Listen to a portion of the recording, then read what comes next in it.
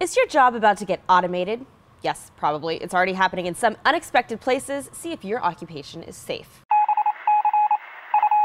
In an interview last week with the American Enterprise Institute, Bill Gates confirmed that yes, the rumors are true. Robots will be taking your jobs.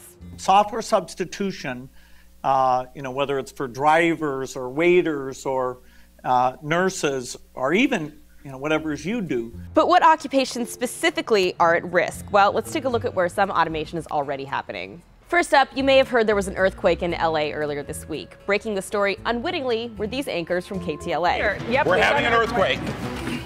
But the first article published about the quake was actually generated by an algorithm from the LA Times, plugging in just the key facts. 4.7 quake, Monday morning, Westwood, California, 6.25 a.m., etc. That Robo article posted just a short few minutes after the quake, and the LA Times says that they use algorithms for homicides or other breaking news stories, and we can probably expect this trend to continue. But nothing could ever replace the pure sensitivity and emotion of human reporters, right? Right? Right?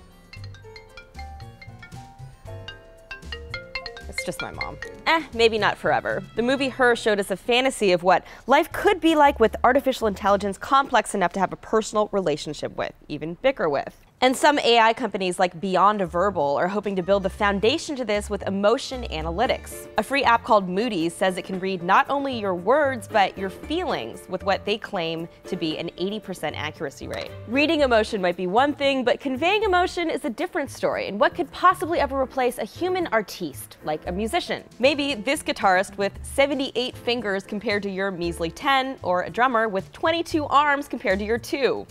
These play as part of a band called Z Machines.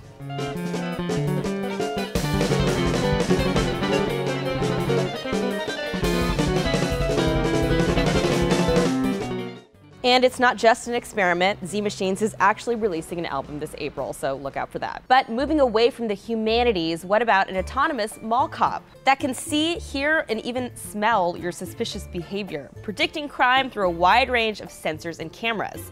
The Knightscope K5 could slash crime in half in enclosed areas like malls, airports, or campuses, according to its makers, replacing 1.3 million security guards in the US. It's currently in beta testing through 2014 and early 2015. And don't bother trying to tip it over. If you do, it makes a very annoying sound and you'll probably get in trouble. Finally, in all seriousness though, Oxford University did do a real study on what jobs are most likely to be automated, looking at factors like social and creative intelligence in making their predictions. What did they find?